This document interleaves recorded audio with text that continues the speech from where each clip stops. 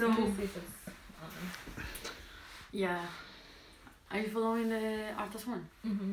Oh yeah, you are on. Oh my god, so weird. Right.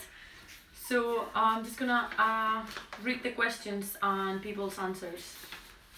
Uh, this is gonna be the first take. Can you unlock your phone? I know, but I'll be able to read You're blocking the camera. Okay, so um, the first question was Have you ever changed, shift your diet to reduce the consumption of meat? How long for or how long ago? Yes, three, three years ago. Three years or 15 years ago. I changed my food habit four years ago. Maybe 10 years ago? No, I haven't. Yes, I stopped buying red meat in supermarkets and switched to chicken for everything. I started reducing meat two years ago, being full and vegetarian for one year. Yes, more than once. The first time, maybe eight years ago, or maybe two years. For maybe two years.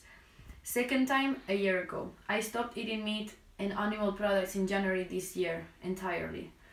I went vegetarian suddenly at, at 10 years old. I couldn't differentiate between the flesh of my pets that I loved so much and the meat on a plate that I was provided with growing up. This was though for me as I didn't like vegetables. I ate potato and sweet corn, that's all. As I grew up in my teenage years, I learned how to cook vegetables as well in ways that my mother never knew. This allowed me to expand my diet, become more, much more healthy. I am now 23 years old and have never consumed meat since. I've had vegan phases, but usually end them over to due to health reasons after a few months. I hope that I can learn how to be vegan in a healthy way one day and make it a long-term diet of mine. Yes, I went veggie seven years ago and going flexibly vegan about four years ago.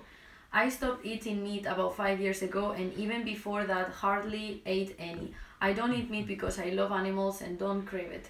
I do eat fish max once a week for omega. Yes, six years ago. No, but I think about it. Yes, I was vegetarian for three years and have been vegan for a year. I became a full vegan in April 2018 after approximated four months of not eating red meat. Six years ago to veggie, five to vegan. Yes, only recently have I become veggie. Yes, in 2016 for a year and a half. And there's yeah because I didn't have time. I just received the answers. So um yes, yes since this last summer and shifted to reduce my consumption of meat as much as possible about a month ago. Okay, jump to the second question. How would you describe the meat industry in your own words? Um, vicious, selfish, over-intensive, out of touch, Auschwitz, hell, a room of tortures. No. I think it needs to exist, but it should exist on a much smaller scale. Manipulative in the sense that people have been convinced to think you cannot live without it. Delicious. In my view, the keyword is cruel. They don't think about how these animals feel or live. Environmentally awful, yummy.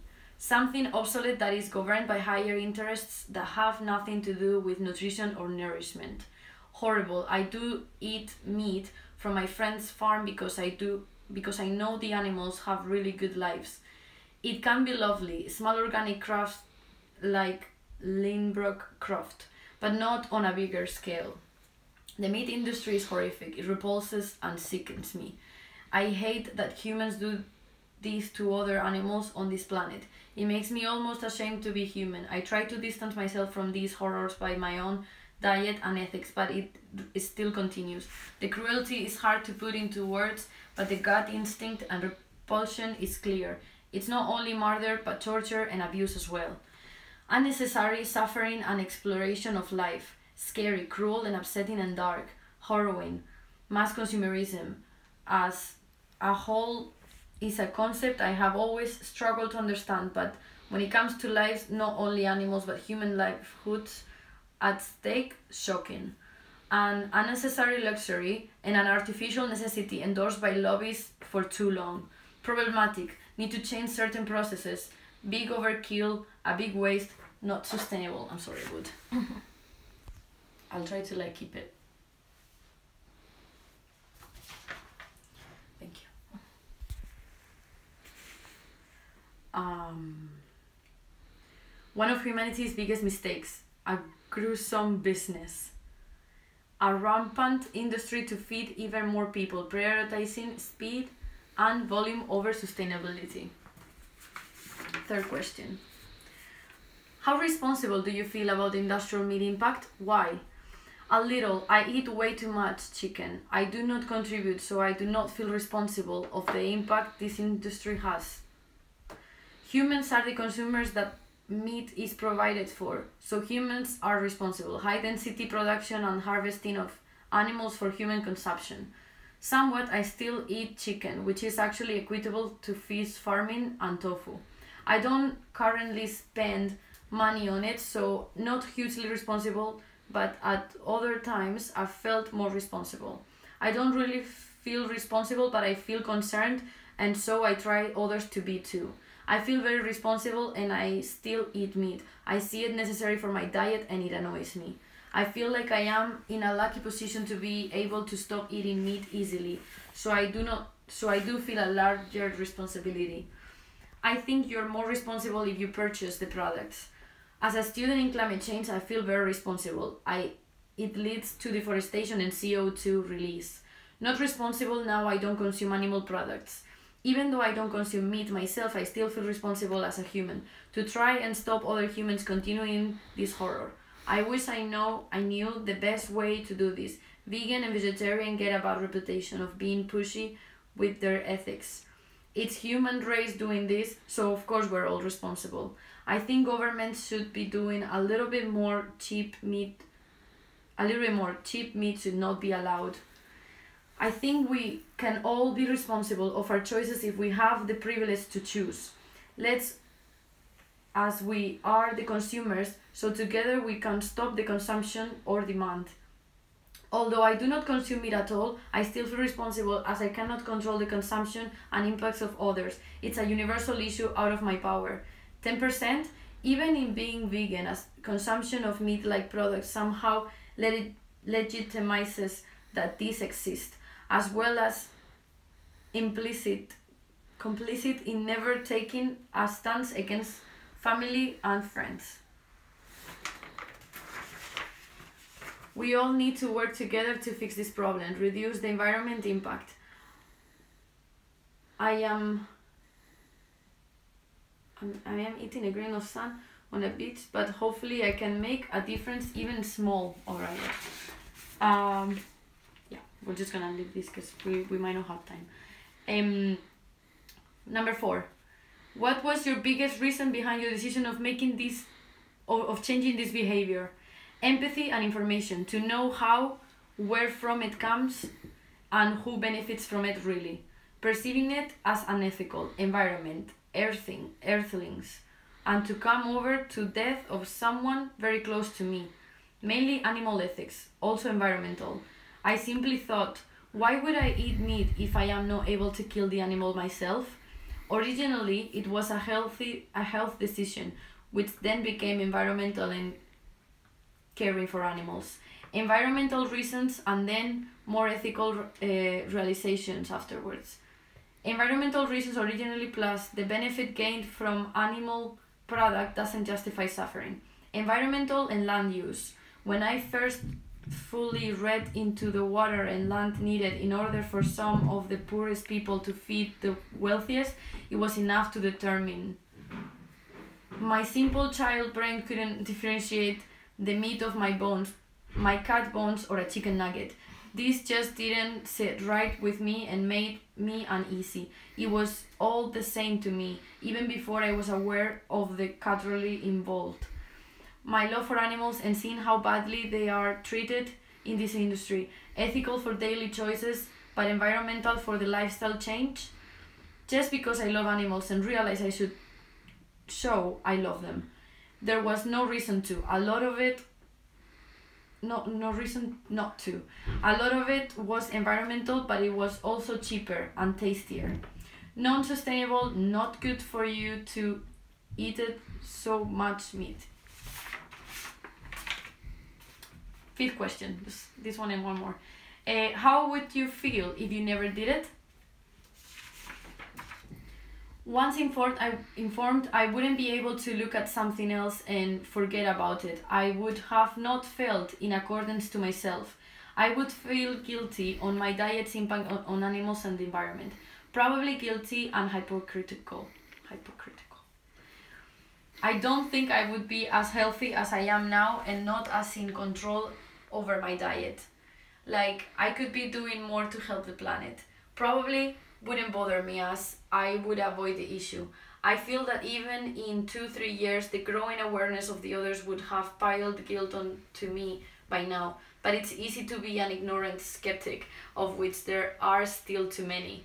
I think I would be a much more unhealthy person if I never went vegetarian. My diet would lack nutrition. I feel like this is the biggest way I can help the environment on my own. No clue, haha, but maybe I'd ignore the guilt. I know I would regret it or feel guilty. Probably like I wanted to do it but was too scared to make a move. Environmental impact, guilt. I wouldn't feel, I wouldn't have felt as bad as if I didn't do it. And the last question. Can you give a sentence or two about the way you feel personally about meat industry? It doesn't sit right with me. It is an industry based in commercial interest that does not fix the suffering of animals, neither it does in the environmental impact that it takes to maintain it. It's all based on high densities, which can come along with consequences such as poor quality, poor living conditions, poor slaughtering method. Although meat needs to meet demands of the population's diet, it is still wrong to produce. I think they should change the way they produce and focus more in the quality they give. Dislike the negative uh, behavior towards environment and hope pressure forces them to change. Like you could need to buy locally to destroy it. We think we are better than all to, all other nature and we abuse that. Selfishness destroys the planet. Moreover, the deforestation. Meat industry also participates in animal cruelty. I feel that the people in it aren't evil, but there should be help for them to more to to more away from it because it's unjust. I carry the weight of my guilt, confused, angry. How can I justify so much destruction for a need of protein? People need to think more for themselves and get out of this lifestyle. Eat some lentils. Big market for glutinous people. It isn't needed in our diet every day, not this much. I feel horrified and ashamed about the meat industry. It's a deep mark on humanity. It upsets me, and I am shocked how little people care about meat consumption. It shocks me that because most people say they love their own animals and would never eat them. Mm, I feel conflicted. It's it's in so much culture, but it can be so detrimental. And I think that's it. And now we're gonna proceed to the painting. so yes, I originally thought of doing this uh, from my headphones, but it's not gonna work with the live, so we're just gonna have to listen to it together.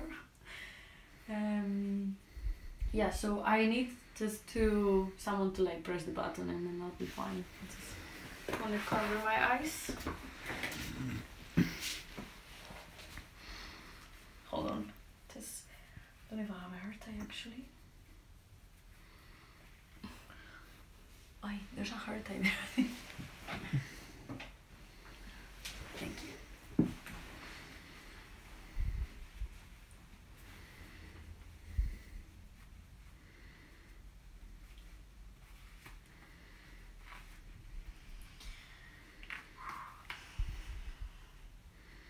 Okay, I can't see anything. Mm. right. Yeah, you can you can start. In the next few minutes, you will be given an eye-opening look behind the closed doors of modern farms, hatcheries, and slaughter plants, revealing the journey that animals make from farm to fridge.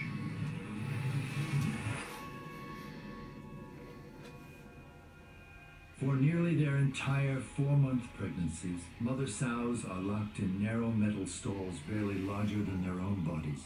Many of the animals develop open sores and scratches. Workers often kick, hit, and yell at pigs to move them. Soon after birth, piglets are castrated by workers who cut into their skin, and rip out their testicles. Next, the workers chop off their tails. Both of these painful procedures are nearly always done without anesthesia. Many animals die from botched mutilations. Piglets who become sick or injured or who are not growing quickly enough are killed. Common killing methods include throwing animals into bins and painfully gassing them with carbon dioxide.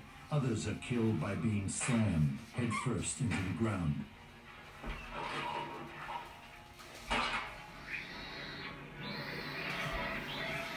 Factory farm in Ohio, workers killed injured sows by hanging them on a forklift to be slowly strangled to death, a practice defended by the pork industry. Pigs raised for meat typically live only five to six months, a mere fraction of their natural lifespan in overcrowded pens like this. Workers frequently tattoo the animals with ID numbers by hitting them with metal spiked mallets. Once pigs have reached market weight, they are sent to slaughter. At the slaughterhouse, pigs are knocked in the head with a steel rod, hung upside down, and have their throats slit. Improper stunning condemns many pigs to having their throats slit while they are fully conscious and suffering. Others are even scalded alive in the hair removal tanks.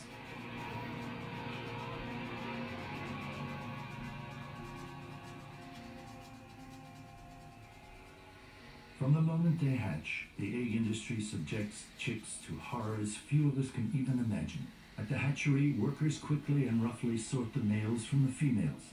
Because male chicks don't lay eggs and do not grow quickly enough to be raised profitably for meat, they are killed within hours after hatching. Male chicks are typically thrown into giant grinding machines while still alive. This practice is deemed standard and acceptable by the egg industry. Another killing method is to drop male chicks into trash bags to be smothered or suffocated. More than 200 million unwanted male chicks are killed on their first day of life each year in the United States. The females have it even worse, destined for a life of prolonged cruelty. To reduce pecking induced by overcrowded living conditions, workers use a hot blade or laser to remove part of the chick's beaks.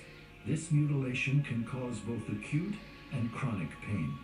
After debeaking, the birds are moved to cages where they will spend the rest of their lives. Nearly 95% of egg-laying hens spend their lives confined in tiny wire cages like this. Most birds never see sunlight or breathe fresh air. They are packed so tightly they cannot even spread their wings, walk, or turn around without pushing other birds aside.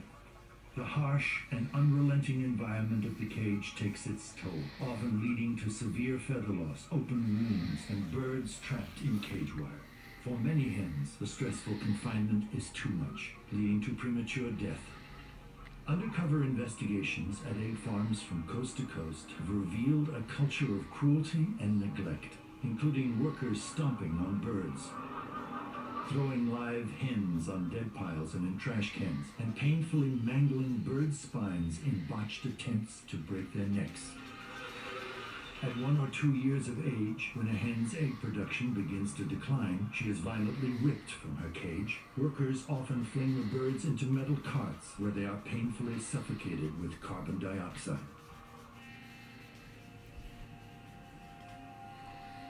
Crowded by the thousands into filthy sheds, chickens and turkeys are denied many of their most basic natural behaviors and needs, such as fresh air and exercise. Through genetic selection, chickens and turkeys raised for meat have been bred to grow so large so quickly that many suffer crippling leg disorders, chronic joint pain, and even fatal heart attacks. Sick or injured birds often have their necks broken.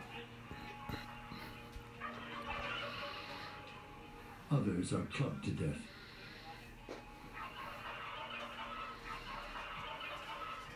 Those who live to reach market rate are thrown into transport crates and loaded onto trucks bound for slaughter plants. Handling is often violent and frequently causes bruises, broken bones, and other injuries. At the slaughter plant, the birds are dumped from their crates, then roughly snapped upside down into moving shackles by their fragile legs. From there, the birds are dragged through an electrified vat of water which renders them paralyzed, but not necessarily unconscious. They are then pulled across a blade which slices their throats, causing blood to pour from their necks.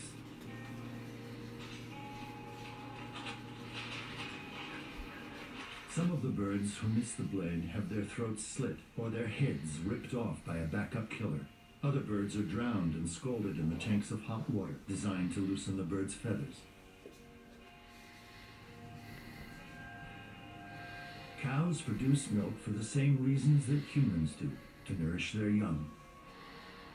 But calves on dairy farms are dragged away from their mothers and violently killed, all so that humans can have the milk instead.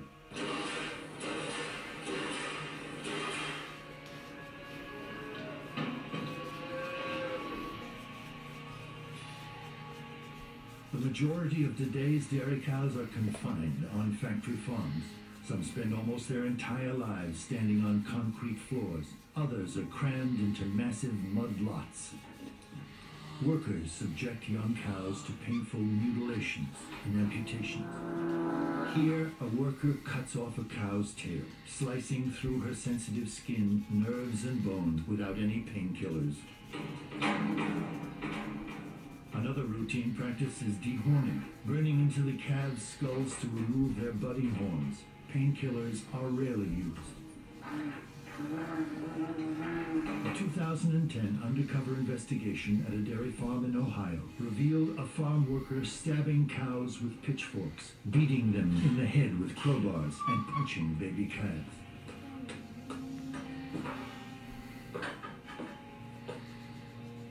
Injuries and illness often run rampant in filthy, disease-ridden factory farm environments.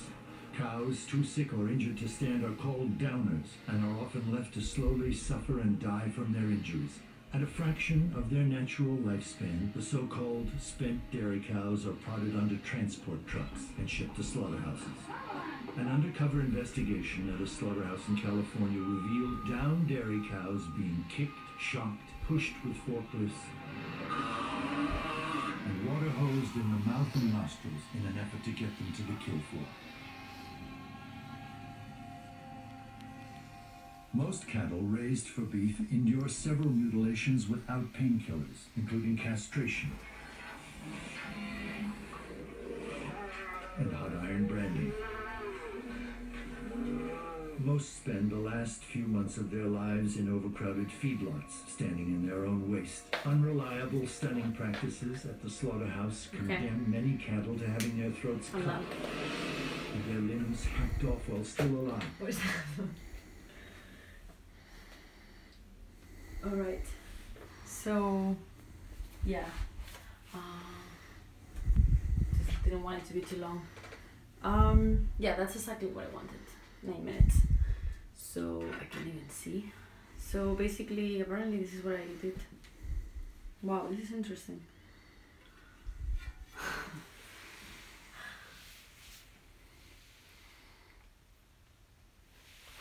we can have this as the end of the video. Thank you everybody for giving me these answers and inspiring me to to actually do this. Um, can we say how many people are? Is there anyone? There's no one. I'm not gonna do it. Can you tell? Four people. Okay, that's gonna be four weeks. Fish I'm gonna not eat meat at all, Intelligent and who have a demonstrated capacity how to it suffer goes. pain.